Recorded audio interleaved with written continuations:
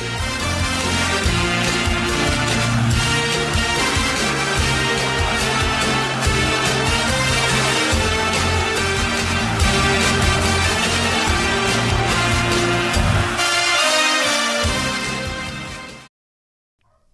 Pablo voltou ao São Paulo após dois meses no empate por 1 a 1 contra o CSA no último domingo no Morumbi. O atacante se recuperou de uma lesão no ligamento do tornozelo. Ele não atuava desde o dia 13 de junho contra o Palmeiras. Apesar da distância de 10 pontos para o líder Flamengo, Pablo não perde a vista um possível título. Diante do CSA tivemos um volume de jogo, criamos muitas chances de gol, mas não concluímos da melhor maneira e ainda tivemos a infelicidade de sofrer um gol no contra-ataque. Sonhamos em ser campeões. Por isso, sabemos que precisamos evoluir. Fico feliz de ter poucas derrotas pelo São Paulo. E quero melhorar ainda mais esse retrospecto na busca dos nossos objetivos, disse Pablo.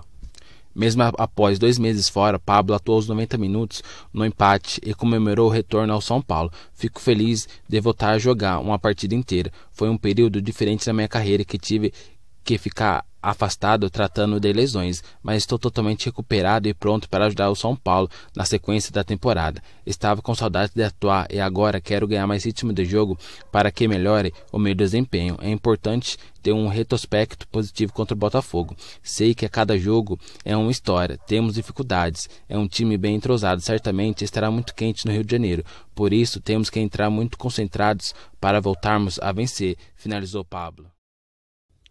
O São Paulo reformou a fachada do estádio Cícero Pompeu de Toledo e a estreia aconteceu na partida contra o CSA no outro domingo. A nova fachada mantém o que já era, porém ganhou traços mais modernos, e o principal deles é a noite, já que agora a iluminação é em LED. A iluminação anterior não era das melhores e ainda tinha letras com falhas devido ao desgaste.